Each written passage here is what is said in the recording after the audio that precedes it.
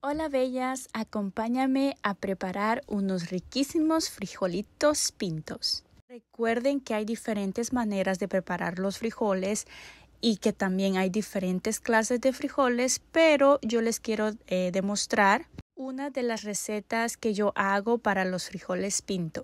Lo primero que tienes que hacer es escoger los frijoles eh, uno por uno eh, tienes que ver los que no están bien y los que están bien los tienes que poner aparte. Después los tienes que lavar muy bien, trata de lavarlos muy bien con tus dos manos. Antes de escoger tus frijoles, pon eh, un poco de agua a hervir. Cuando ya esté hirviendo, le pones los frijoles y le pones dos ajos y la mitad de la cebolla. También le estoy agregando una cucharadita de manteca.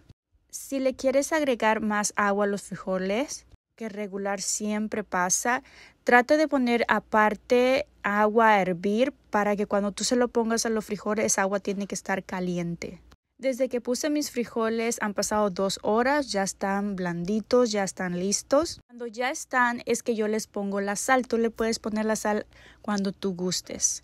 Recuerda de quitar la cebolla y tirarla y lo más importante para mí que le da un sabor riquísimo es ponerle cilantro y un pedacito de apio. Eso les da un sabor riquísimo. Ya están listos mis frijoles pinto. Bye bye.